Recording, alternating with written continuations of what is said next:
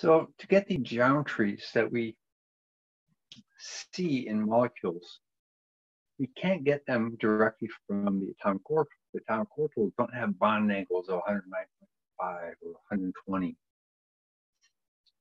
So we do a mathematical technique of hybridizing our atomic orbitals. The technique would be called linear combination of atomic orbitals.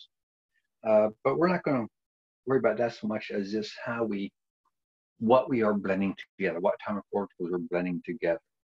So that would be our hybridization. And it's based on the electron geometry alone, not on the molecular geometry, the electron geometry alone.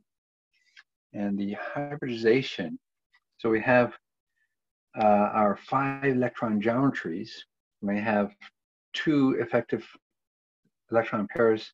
We have a linear geometry. Well, if we have two areas of electron density, we need to blend together two orbitals. So we take a s orbital and p orbital, blend them together, and we'll get a sp hybridization. And I'll have our bond angle of 180 degrees.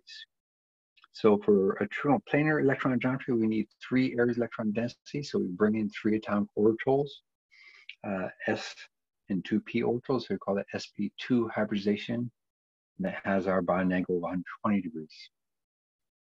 For tetrahedral geometry, we have four areas of electron density. We need four orbitals. We bring in the S and the 3p to give us four orbitals.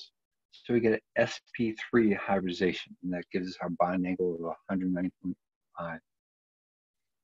For trigonal bipyramidal electron geometry with five areas electron density, we need five orbitals. So we bring in our S, our 3P, that gives us four. We have to bring in the D. So we have a D sp3 hybridization.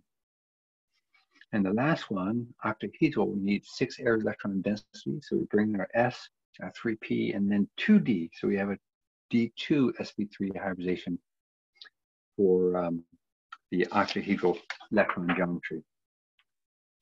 The um, number of orbitals that we put in equal the number of orbitals that uh, we get out.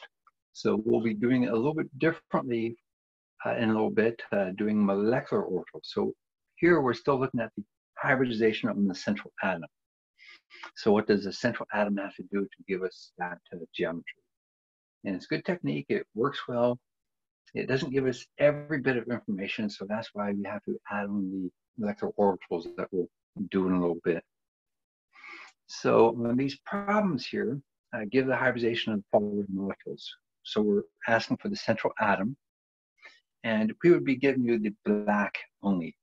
And you would have to draw your own Lewis structure, figure out your geometry before you can answer it. So for xenon tetrabromide, we end up with four atoms, and we have these two lone pairs also on there. So we're exceeding the octet. So four atoms, two lone pairs means that we have uh, six areas electron density, so octahedral electron geometry. The molecular geometry is a square planar, but octahedral is what determines it. That means that we have a D2 sp3 hybridization.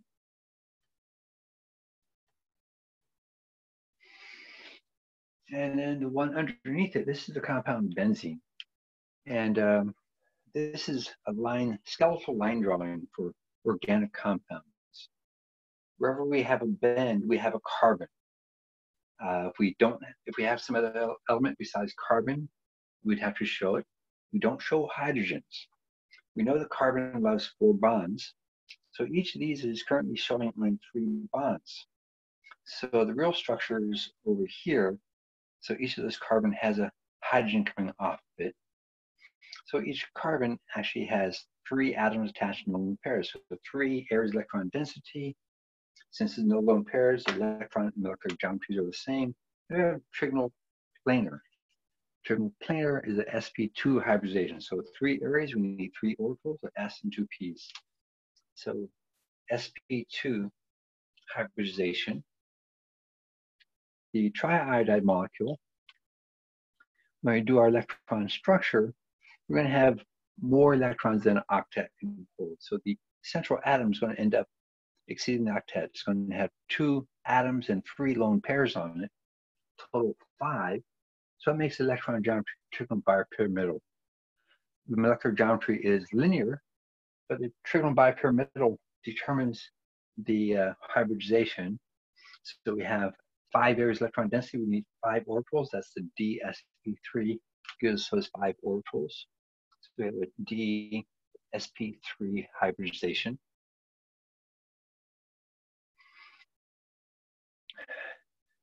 So dichloro, difluoromethane, um, we draw out the Lewis structure. We see the carbon has four atoms, no lone pairs. No lone pairs means electron and electron geometries are the same. And with four areas of electron density, we have a tetrahedral, and tetrahedral means four orbitals, so that's a sp3 hybridization. Hydrogen cyanide, when we draw the structure, we end up with a single bond hydrogen and a triple bond between carbon and nitrogen. So the carbon has two atoms, no lone pairs. Uh, again, our electron and electron geometry are the same because there's no lone pairs. And it'll be a linear geometry. And these are only two orbitals, so that would be a sp hybridization.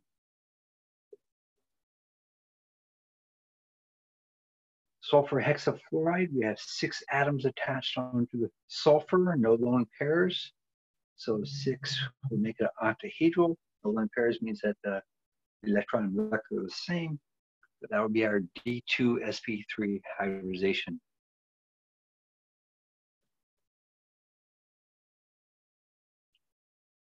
Selenium dioxide, when we do our um, Lewis structure, we see that we have two atoms and a lone pair on the selenium. So we have three, three areas of electron density around it. That would make it a trigonal planar for electron geometry.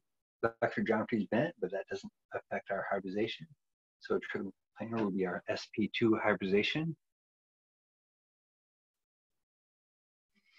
And water, we draw that out, we have two atoms and two lone pairs on the oxygen. So areas four electron densities. So sp3 uh, tetrahedral electron geometry. Electron geometry is also bent, but again, doesn't matter. So tetrahedral uh, electron geometry means that we have a sp3 hybridization.